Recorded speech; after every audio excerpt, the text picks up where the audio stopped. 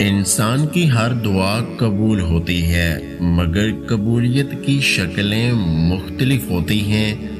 बिल्कुल वही चीज़ अता कर दी जाती है जो उसने मांगी थी।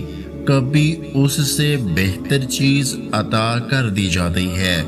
कभी दुआ की बरकत से, कभी मुसीबत को टाल दिया जाता है। या कभी दुआ को आखरत का जखीरा बना दिया जाता है। जो अल्लाह एक वक्त में आसमान को सात रंगों से बर सकता है, क्या वो तुम्हारी दुआ कबूल नहीं कर सकता? जिसे तुमने देरी समझ रखी है, वो तुम्हारी हिफाजत भी तो हो सकती है। हाँ ये तो इंसान की फितरत है ना।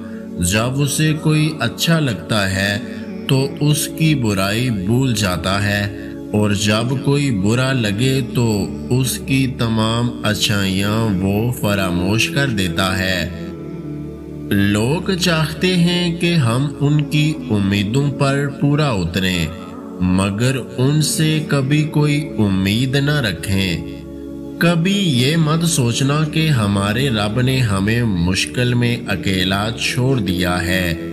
याद रखो, इम्तिहान के वक्त उस्ताद हमेशा खामोश रहता है। लहजे और अल्फाज की खूबसूरती वो खसूसियात हैं जो आपको अनदेखे इंसान का दीवाना बना देती हैं। अच्छे लोगों की यही खामी होती है कि वो सबको अच्छा समझ लेते हैं।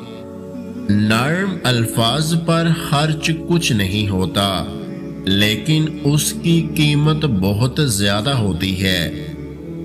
अपनी कदर करें, खुद को बाइलम करें और अपने लिए मुस्कुराएँ। मनफी सोचें, वो बारी बोझ हैं। जो हम हर वक्त अपने साथ उठाए फिरते हैं। ये जो दिलों के दर्द होते हैं, ये तबीब से नहीं, अपनों के करीब होने से मिटते हैं। इस वीडियो को लाइक, शेयर और मेरे यूट्यूब चैनल को सब्सक्राइब करना मत भूलिएगा। वीडियो देखने का बहुत बहुत शुक्रिया। अल्लाह हाफिज़।